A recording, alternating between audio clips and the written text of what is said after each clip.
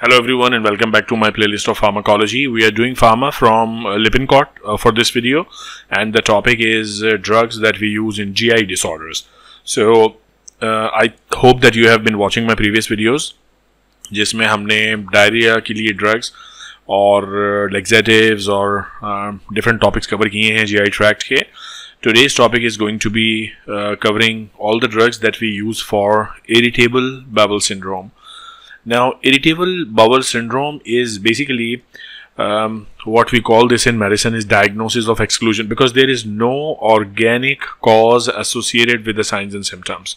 However, the patient feel chronic abdominal pain and altered bowel habits. Now, when we say altered bowel habits, it basically means that sometimes there is constipation and sometimes there is diarrhea. So the patient have like altering bowel behaviors and the patient complains of the same कि भाई कभी मुझे diarrhoea रहता है कभी मुझे constipation रहता है और पेन की कंप्लेन बहुत कॉमन कंप्लेन होती है by the patient so but when you investigate there is no organic cause इसका मतलब क्या है? मतलब ये है कि आपने एक्सरे किया अल्ट्रासाउंड किया इवन बायोप्सी अगर कर डाली तो आपको कोई ऑर्गेनिक पैथोलॉजी मिलती नहीं है. So you don't find anything abnormal in the diagnostic workup and if this happens you have excluded everything कि there is no organic problem, then you label it as IBS, irritable bowel syndrome.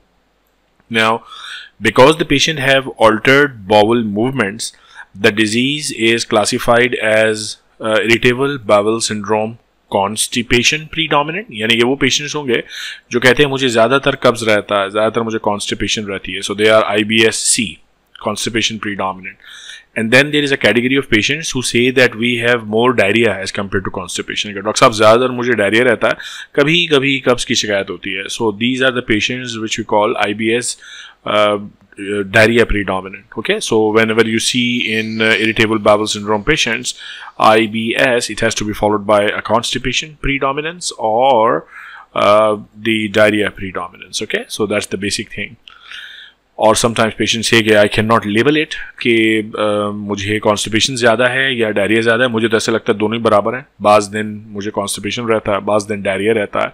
सो उसे हम कहते हैं इस combination category तो ये तीन तरह की कैटेगरीज आपको मिलेंगी क्लिनिक्स में इरिटेबल बाउल सिंड्रोम की।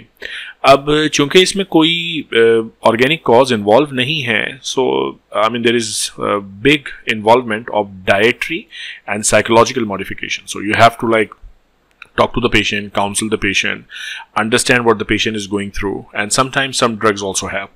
And key drugs जो हम use करते हैं वो इसी तरह से listed हैं जैसे इस disease की classification है. So irritable bowel syndrome जो कॉन्स्टिपेशन प्री डोमिनेटिंग कैटेगरी है उसमें uh, ये दो ड्रग्स बहुत कॉमनली यूज़ करते हैं linaclotide and lubiprostone and then you should know what these drugs are and to understand this you have to refer back to the table below so for example lilacolide it is used in irritable bowel syndrome constipation predominant category. Now how does the drug work basically? Because it's constipation now, now you want to cause uh, a little more diarrhea like movement in the patient ताकि constipation khatam ho so what this drug does is it increases the interstitial fluid secretion via increase in cyclic GMP mechanism. So more water in the bowel and uh, you try to get rid of diarrhea and obviously the drug का जो overdose है वो उसके action की line पर ही होता है यानी this drug is alleviating it is removing it is getting rid of constipation so it's trying to induce a diarrhea like situation so one of the common side effect actually is diarrhea and because uh, it is increasing the fluid content in the bowel it will increase the bowel movements. Therefore patient may also feel abdominal pain. Flatulence because increased bowel activity is there. Abdominal distension because of flatulence. And you avoid this drug in younger uh, patients such as less than 17 years of age. So if there is constipation predominance the first drug is linaclotide and it works by uh, activating the cyclic GMP system the other drug in this category is the lubiprostone, which is a chloride channel activator. Again, once the channel is activated, just like Vibrio cholerae, you get more fluid in the bowel and you get more and more flow through the bowel. So you try to avoid constipation. So these two drugs are used in the category of irritable bowel syndrome, where constipation is the predominating uh, feature. Then we have the other category, which is the irritable bowel syndrome, where diarrhea is the predominating feature, and the drugs that we use in there are alosetron and uh, and uh, rifaximin. So starting from rifaximin, it decreases the bacterial load uh, because this is the structural analog of rifampin. So that's kind of an antibiotic that you are using. And the side effects, and once the bacterial load is decreased, uh, you try to uh, minimize the diarrhea like situation and the side effects will be because you are disturbing the microbial load of the gut there are risk and chances of developing clostridium difficile infection the opportunistic infection because you should know from your microbiology lectures that the normal flora of the gut is important to maintain health of the gut and if you use antibiotics there's always a risk of developing clostridium difficile infection and the other side effects are nausea um, dizziness headache and things which are intrinsic to the structure of rifampin. Then eluxadoline is an opioid receptor agonist. So opioid receptor agonist, therefore it will cause constipation-like scenario. And this is what we need because initially the disease is diarrhea predominant, okay? And because it is causing constipation-like scenario, the one of the side effect would be constipation, abdominal pain will, may also be there okay and because it's an opioid receptor there is always a risk of dependence so the patient become dependent on this drug and they uh, kind of gaya wo wali cheez hai alosetron is um, 5-HT3 antagonist and therefore it causes decrease in the bowel movements inducing constipation like scenario. And there can be side effects obviously which you have to uh, remember for this particular drug so ये दो drugs जो थी they were for irritable bowel syndrome constipation. These three drugs are then for irritable bowel syndrome diarrhea predominance.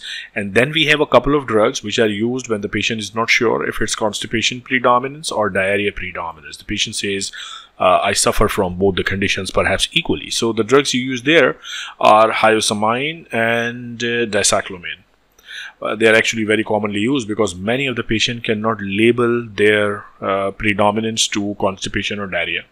So if we talk about dicyclomine, this is an anti-muscarinic and it decreases the GI spasms and motility. Obviously, uh, side effects will be because it is blocking muscarinic receptors. Uh, it is anticholinergic effects. You may see uh, dry mouth and uh, drowsiness as part of the anti-muscarinic blockage. Then hyoscyamine is an anti-muscarinic as well. It also does the same thing, decreases the GI spasms and motility, and almost similar side effects you see as well.